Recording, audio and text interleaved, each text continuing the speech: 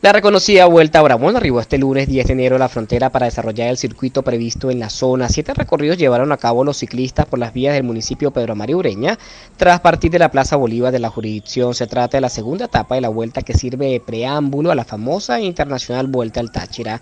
Una vez culminaron las circunvalaciones en Ureña, los ciclistas pasaron por la ciudad de San Antonio del Táchira rumbo a Delicias.